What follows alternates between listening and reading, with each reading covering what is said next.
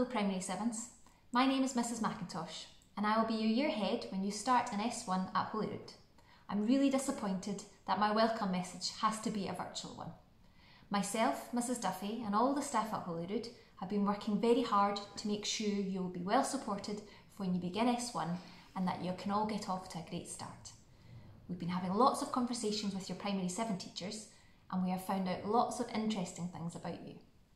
When you start with us at Holy Rood, my job as your head will be to make sure that you are achieving your best and that you feel safe and happy in school. As well as myself, you will have lots of staff that are here to help and support you through your time at school. I really look forward to seeing you soon and getting to know you all much better.